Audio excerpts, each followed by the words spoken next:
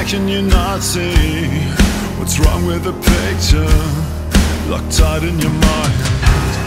You're telling me the score, so how can you ignore that I retain no control?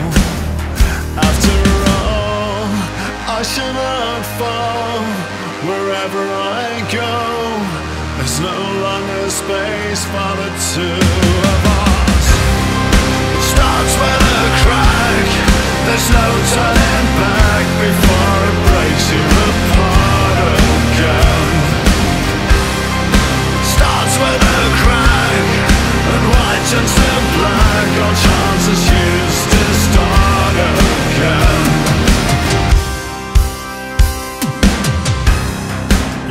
to return, but time's up to adjourn. Decisions now have to be made by no one but me.